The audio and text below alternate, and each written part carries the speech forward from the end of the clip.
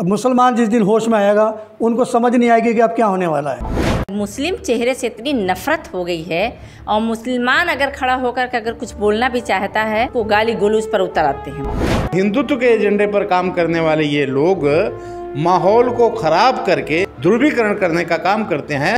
मानो गालिया क्या इनका असल में जहन ही ऐसा है। अब मुसलमान जिस दिन होश में आएगा उनको समझ नहीं आएगी कि अब क्या होने वाला है। पलपल न्यूज़ से मैं हूँ, आपके साथ नदीम अकरम। जिस तरीके की संसद में अल्फाजों का इस्तेमाल किया गया, उस पर बार बार सवाल खड़े हो रहे हैं। और सवाल ये खड़ा हो रहा है कि एक मुस्लिम सांसद को देख करके जिस तरीके से पूरी कौम को भद्दी भद्दी गालियाँ दी गई, ये सवाल खड़ा हो रहा है। और सवाल ये भी खड़ा हो रहा है कि जब वो शख्स लगातार मुसलमानों को भद्दी भद्दी गालियाँ दे रहा था तो पीछे दो सांसद बैठे मुस्कुरा रहे थे। हर्षवर्धन और रविशंकर प्रसाद भारतीय जनता पार्टी के दिग्गज नेता और पूर्व कैबिनेट मंत्री भी हैं। मोदी जी की पूरी तरीके से खामोशी है, कोई इस पर कुछ कहना चाहता नहीं, क्योंकि बात मुसलमानों की है। यहाँ मुसलमानों को लेकर के कुछ भी आए दिन बोल दिया जाता है, कोई कार्रवाई नहीं होती और यही कोई दूसरे सांसद ने बयान दिया होता तो अब तक संसद सदस्यता रद्द हो जाती। इसी पर बात करने के लिए social democratic party of India की पूरी टीम हमारे साथ मौजूद हैं, डॉक्टर साहब भी मौजूद हैं। डॉक्टर साहब, किस तरीके से देखते हैं कि एक शख्स के बहाने पूरी कौम को गालियाँ नहीं, बड़ा अफसोस का मुकाम है कि जो लोग संसदीय भाषा तय करने के लिए अभी कुछ चीज़ों को असंसदीय बताकर पीछे पाबंदी लगाई थी, वही लोग उनके विपरीत कार्य कर रहे हैं। अफसोस की बात है। ये मुल्क में मैं समझता हूँ कि संविधान की पूरी तरह से धज्जियाँ उड़ाई जा रही हैं। भारत के लोकतंत्र को पूरी तरह से मिटाया जा रहा है और हिंदुत्व के एजेंडे पर काम करने वाले ये लोग माहौल को ख़राब करके, चूँकि जब भी चुनाव आता है ये हमेशा माहौल को ख़राब करके ध्रुवीकरण करने का काम करते हैं। इस तरह का ध्रुवीकरण का कार्यक्रम इनका है, जिसके तहत ये इस तरह की बदतमीजियाँ की गई हैं। क्योंकि मेंबर ऑफ़ पार्लियामेंट की एक अपनी गरिमा रहती है। एक मेंबर ऑफ़ पार्लियामेंट इससे पहले इतिहास में कभी ये तस्वीर नहीं देखी गई। भद्दी भद्दी गालियाँ मुस्लिम शख्स को दी गई थी, क्योंकि हमने शुरुआत का वो संसद शपथ समारोह भी देखा था, जिसमें होटिंग की गई मुस्लिम सांसदों को देख करके जय श्री राम। और ये अगर उस टाइम कोई सख्त टिप्पणी या सख्त कार्रवाई की गई होती तो ये तस्वीर आ जाती जो कल आई। असल में देश की जितनी पार्टियाँ हैं आज मैं जब देखता हूँ आरएसएस को पूरी तरह से पोषक कांग्रेस रही है और आज भारतीय जनता पार्टी है। ये सब अंदर से एक विचारधारा के लोग हैं, इसलिए ये ऐसे मुद्दों पर खामोश रहते हैं। और ख़ास तौर से जो हमारे मुस्लिम मेंबर पार्लियामेंट्स हैं या दूसरी पार्टियों के लीडर हैं, वो भी बेचारे जहनी तौर पर ग़ुलाम हैं। चूँकि उन्हें अपने आका को खुश रखना उनकी मजबूरी है वो भी तो नहीं बोलने की हिम्मत कर पाते इसलिए ये सब दिन आ रहे हैं। इसीलिए तो आज social democratic party of India को इस मान सम्मान को कायम रखने के लिए संघर्ष करना पड़ रहा है। किस तरीके से देखते हैं जो भद्दी भद्दी गालियाँ साफ़ तौर पर मुसलमानों को दी गई? देखिए ये हमारा और हमारे देश का दुर्भाग्य है। जिस तरीके से अभी चलन बन गया है कि सदस्यता रद्द की कर दी जाती है। अगर कोई कुछ बोलता है, सांसद इसीलिए बनाई गई थी। कि देश की जो भी समस्या हैं, जो भी परेशानियाँ हैं, जो भी प्रॉब्लम्स हैं, वहाँ रखी जाएगी। लेकिन मुस्लिम चेहरे से इतनी नफ़रत हो गई है और मुसलमान अगर खड़ा होकर के अगर कुछ बोलना भी चाहता है तो सबसे पहला तो काम ये किया जाता है कि बहुत सी अड़चने, बहुत सी रुकावटें वहाँ हायल की जाती हैं। अगर इससे काम नहीं बनता है तो उनको गाली गलूज पर उतर आते हैं। लेकिन जब पहली बार ऐसा हुआ था, अगर एक्शन ले लिया गया होता तो शायद आज ये दिन देखना नहीं होता। दूसरे लोग, जितनी पार्टीज़ के लोग थे जितने सांसद वहाँ मौजूद थे, लेकिन सभी ने चुप्पी साधा। ये बहुत दुख की बात है और संविधानिक उल्लंघन है। मैं अगर उस नज़रिए को पेश करूँ कि जिस वक्त अगर इससे पहले भी कई बार लोगों ने इसकी बात को करने के लिए अपना जो है, उत्साहत किया, साहस पैदा करने वालों का इस तरीके से जो तोड़ा गया और वहाँ पर उनके फिर कभी जुरात नहीं हुई खड़े होकर के बोलने की। लेकिन आज उसी की देन है कि जो आईना दिखाया जा रहा है और इतनी गलत दिशा में आईना दिखाया जा रहा है, जिसको कभी देश और ना देश में रहने वाली जनता बर्दाश्त कर सकती है। मैं ये मांग यहाँ से करती हूँ, मैं एसडीपीआई के वाइस प्रेसिडेंट शाहीन कौसर यहाँ खड़े होकर ये मांग करती है कि राम बिदोड़ी की कब सदस्यता रद्द की जाएगी। रमेश बितोड़े की संसद सदस्यता कब रद्द होगी? डॉक्टर साहब, क्योंकि सवाल इसलिए भी खड़े हो रहे हैं कि जब गालियाँ दी जा रही थी मुसलमानों को, हर्षवर्धन हो, दिग्गज नेता भारतीय जनता पार्टी के रविशंकर प्रसाद जो हैं, पीछे खिलखिला रहे थे, जैसे एक फतेह हासिल कर लियो। कैसे देखते हैं मोदी जी की चुप्पी? या खुले तौर पर बड़े नेताओं का समर्थन था, बेटा, तुमने बहुत अच्छा काम किया मुसलमानों को गाली देकर। नहीं, ये उनका पूरी तरह से समर्थन है। जब मोदी जी ने पहले एक पत्रकार के सवाल के जवाब पर, इंसानों की मौत पर कुत्ते जैसा मरने की बात कही थी तो ये उनका नज़रिया है। और ऐसे लोग तो संसद पहुँचने लायक ही नहीं होते, लेकिन अगर पहुँच गए हैं और ऐसी हरकत उन्होंने की है तो अब उनको संसद बने रहने का अधिकार नहीं है। तो हमारी ये मांग है कि उनके खिलाफ़ तुरंत एक्शन होना चाहिए, जिस तरह से उन्होंने बातें कही हैं, आपराधिक मुकदमा होना चाहिए और उनकी संसद सदस्यता रद्द होनी चाहिए। कैसे देखते हैं कि खुले तौर पर भद्दी भद्दी गालियाँ दी गई और ऐसे में मुख्तार अब्बास नकवी जैसे जो एक डमी हैं भारतीय जनता पार्टी के लिए, वो खुले तौर पर कहते हैं कि ये तो ड्रामेबाजी की गई थी कांग्रेस में शामिल होने के लिए। मतलब मुस्लिम सांसद ने ही ये पूरा ड्रामा रचा वो तो पूरे शर्म बेशरम लोग हैं जो चाहे कहें। वो मज़ाक उड़ाते हैं लोकतंत्र का और लोकतंत्र में उन लोगों ने इस तरीके का घटिया हरकत करने का काम सिर्फ़ बीजेपी के लोगों ने नहीं बल्कि दूसरे लोगों ने भी किया है। ये बड़ी शर्मनाक घटना है। ये बहुत ही शर्मनाक घटना है। कैसे देखते हैं जो खुले तौर पर मुसलमानों को गालियाँ दी गई हैं? मुसलमानों को गालियाँ क्या इनका असल में जहन ही ऐसा है? जब इनको सिखाया जा रहा पढ़ाया जा रहा वही दिल के अंदर वही बातें इनके वो बार भरे हुए हैं जो वही इनको कैडर बना के जो सिखाया जाता है रियासत में वही इनके दिल में गुब्बार हैं। और वही इनके मतलब ज़बान से निकलती बात। ज़बान से ये बात निकलती है। डॉक्टर साहब मैं आपसे ये जानना चाहूँगा क्योंकि जब ये घटना घटी तो साफ़ तौर पर हमने देखा कि कुंवर दानिश अली जो हैं वो रोते हुए दिखाई दिए। उन्होंने ये बोला कि मैं संसद सदस्यता से इस्तीफ़ा दे दूँगा अगर कोई काम नहीं हुआ तो क्या संसद सदस्यता कुंवर दानिश अली छोड़ देंगे तो क्या मामला शांत हो जाएगा? नहीं उनका गुस्सा या उनका अफसोस तो जायज़ है चूँकि जब कोई आदमी असहाय होता है तो उसको सिर्फ़ रोना ही होता है।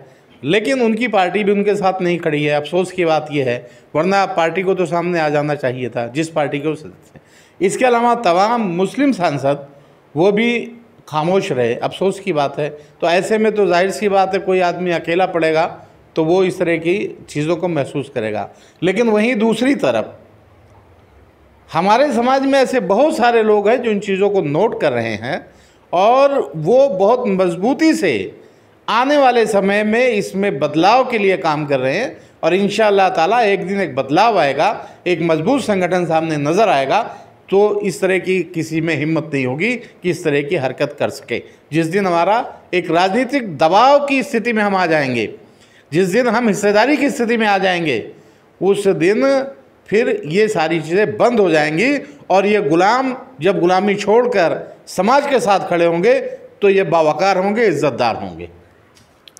किस क्या कदम रहेगा एसडीपीआई का? जिस तरीके की सूरत हाल तस्वीर पार्लियामेंट से सामने आई है क्या कदम उठाया जाएगा आप लोगों के ज़रिए देखिए संवैधानिक के जो भी इसका तरीका है जितना हम कर सकते हैं अपनी आवाज़ हम उठाते रहेंगे और जब तक कि इंसाफ नहीं मिल जाता है कुंवर दानिश को जिस तरीके से चोट पहुँची है ठेस पहुँची है और इससे पहले कई सांसद ऐसे रहे जिनके लिए उन्होंने बहुत बड़ा कदम बीजेपी या और अन्य लोगों ने साहस किया है। इस तरह की जुरात का मैं तो आ, क्या जनता इसका आने वाले कल में जवाब बखूबी देगी क्योंकि जनता सब नोट कर रही है। और एसडीपीआई देखिए, पूरे देश में जहाँ जहाँ भी इस तरह का कार्य हो रहा है, वो बाकायदा लड़ने के लिए पूरी साहस कर रही है और जनता को पूरा मैसेज ये देना चाह रही है पूरे दमखम के साथ कि जनता अकेले नहीं है एसडीपीआई है वजूद में और जहाँ तक इसका कदम आगे बढ़ेगा जनता के लिए और जहाँ जहाँ जब इस तरह की परिस्थितियाँ आ जाएँगी एसडीपीआई कभी नहीं पीछे हटेगी। सिर्फ़ आपके चैनल के माध्यम से मैं यही कहना चाहती हूँ कि एस पे जनता का विश्वास और फेथ बना रहना चाहिए क्योंकि आने वाले कल में जनता ही हमारी ताकत बनेगी और जो इस सच्चाई है, सच्चाई को लेकर के एस आगे बढ़ रही है, हमारा साथ दें और इस कदम में हमारा, हमारे जो लड़ाई है इस इंसाफ के लिए जो हमारी गुहार है जनता इसमें हमारा सपोर्ट करे। एक आखिरी सवाल आप सबसे लेना चाहूँगा डॉक्टर साहब यहाँ पे क्योंकि जिस तरीके की भाषा का इस्तेमाल किया गया मेंबर ऑफ़ पार्लियामेंट एक मुस्लिम सांसद उनका सीधे तौर पर मैसेज था कि अब आपको इस तरीके से मुसलमानों को टारगेट करना है मुसलमानों को डराना है। क्या जो घटना मेंबर ऑफ़ पार्लियामेंट के साथ हुई मुस्लिम समाज को डराने की कोशिश है क्या मुसलमान ऐसी घटनाओं से डर जाएँगे या चुप बैठेंगे? नहीं, ये कोशिश डराने की सिर्फ़ पार्लियामेंट में नहीं। ये गाँव से, सड़क से, पार्लियामेंट तक कोई जगह ऐसी नहीं है जहाँ डराने का प्रयास नहीं हो रहा है। लेकिन मैं बहुत यकीन के साथ मैं आपके माध्यम से ये संदेश देना चाहता हूँ कि मुसलमान कभी भी अगर डरता है तो सिर्फ़ दो चीज़ से, एक अपने रब से, दूसरे उसके बताए रास्ते में कि उससे नाइंसाफ़ी ना हो जाए। इसलिए वो डरता है। इंसाफ के लिए अगर उसे जान भी देनी पड़े तो उसे कोई डर नहीं है। तो इसलिए ये डराने की कोशिश कितनी भी कर लें लेकिन मुसलमान इससे डरने वाला नहीं है। क्या मुसलमान डरने वाला है? नहीं बिल्कुल नहीं डरने वाला। इंशाल्लाह पूरा मुकम्मल तौर पर जवाब देंगे इनको आने वाले वक्त। नहीं डरेंगे नहीं बिल्कुल ना डरे हैं और ना डरता रहे मुसलमान कभी नहीं डरा और ना डरेगा। क्या मुसलमान डरने वाले हैं इससे? मुसलमान ने वो काम किया है जो हिस्ट्री और तारीख़ में दर्ज है। तो ये चीज़ अगर कोई जान बूझ करके अगर हमारी आँखों में या जनता की आँखों में धूल झोंकने की अगर कोशिश कर रहा है तो उसका जवाब कल खुद मिल जाएगा। जो लोग इस तरीके से बेशर्मी पे आमादा हैं, सिर्फ़ इसलिए कि डर और खौफ का भय का माहौल पैदा करके हम जनता को इतना खामोश करा दें कि गलत और सही के जो बीच का कम्युनिकेशन है गैप है, वो भूल जाए जनता। तो ऐसा कभी नहीं होने वाला है। हमारा देश जिंदाबाद था, जिंदाबाद है और आने वाले वक्त में जिंदाबाद रहेगा। किसी की मजाल नहीं है, किसी की हिम्मत नहीं है कि आने वाले कल में जो अभी चल रहा है, जो कुछ, वो जनता नोटिस कर रही है और आने वाले वक्त में इतना करारा जवाब मिलेगा, शायद वो अगर गिने ज़मीन पे तो उठने की साहस भी नहीं कर पाएँगे। ये सवाल लेना चाहूँगा, क्योंकि हमने अक्सर देखा है कि जब एसडीपीआई का कोई प्रोग्राम होता है, इसी तरीके से खलल डाला जाता है, क्योंकि जिस तरीके से मजलूमों की आवाज़ एसडीपीआई के ज़रिए उठाई जा रही है, उस आवाज़ को ही खामोश कर देंगे तो फिर मुसलमान कहाँ ही आवाज़ उठाएगा? ऐसा होने वाला है। हाँ असल में ऐसा पहलवानों के मुद्दों पर हम लोगों ने देखा हमें लगातार प्रोजेक्ट रोका गया। बार बार जब कुछ मजलूमों के मुद्दे हम उठाना चाहते हैं, उसमें हमारे प्रोग्राम में बाधा डाली जाती है। लेकिन बावजूद उसके हमारे कैडर मजबूती से खड़े होते हैं और हम कार्यक्रम को अमल में लाते हैं।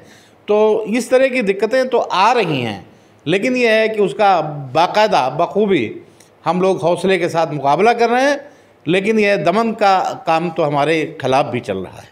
क्या मैसेज देना चाहेंगे रमेश बिथोड़ी को? रमेश बिथोड़ी जी होश न खोएँ और याद रखें कि मुसलमान जिस दिन होश में आएगा उनको समझ नहीं आएगी कि अब क्या होने वाला है। क्योंकि अभी तक मुसलमान बहुत हौसले और हिम्मत के साथ उसका काम ले रहा है।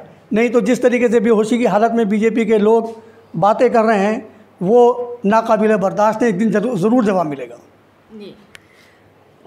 राम बिदोड़ी ने जो रमेश रमेश बिदोड़ी ने जो काम किया है सॉरी जो नाम में थोड़ा सा वो हो गया। रमेश बिदोड़ी ने जो काम किया है अभी इस वक्त, ये सिर्फ़ और हिंदू मुस्लिम की बात नहीं है। ये है इंसानियत की बात। ये है सत्ता दल की बात। ये सत्ता जब पावर में होती है तो उसकी ज़िम्मेदारी सबसे बढ़ चढ़ कर होती है। और सांसद में बैठे हुए सदन के अंदर, जितने सांसद थे, सदन के अंदर बैठे हुए अगर इस तरह का उल्लंघन कर रहे हैं तो इसकी मतलब मंशा इसमें शामिल है। तो अगर मंशा इसमें शामिल है तो सुधारने की ज़िम्मेदारी किसकी बनती है, ये जनता सवाल पूछ रही है। आपके चैनल के माध्यम से मैं कह रही हूँ, लेकिन जनता जो भी देखने वाली है, इस पर सवाल ज़रूर करे। क्योंकि सत्ता पार्टी कौन सी है? और उसमें शामिल हुए लोग आज जो जगह जगह ज़िला ज़िला के अंदर और जो है इलाके के अंदर जिस तरीके से बदअमनी फैलाने की पूरी कोशिश कर रहे हैं, एक दो मिसालें नहीं हैं, दर्जनों मिसालें हैं। इसके ऊपर एफआईआर भी दर्ज हुई, लेकिन बावजूद इसके इस तरह का मामला ख़त्म होने का नाम नहीं ले रहा है। और आने वाले वक्त में न जाने किस तरह की मंशा को लेकर ये आगे बढ़ रहे हैं इससे तो देखिए साफ़ ज़ाहिर है कि उनको इससे मतलब नहीं है कि देश किस दिशा में जा रहा है। इससे उनको ये मतलब नहीं है कि जनता किस तरफ़ जा रही है। उनको सिर्फ़ अपनी सत्ता पार्टी को बचाना है और सत्ता में बने रहने की कोशिश है। तो ये चीज़ लोगों को समझना बेहद ज़रूरी है और एसडीपीआई इसके लिए पूरे इंडिया के अंदर अपना काम बखूबी कर रही है।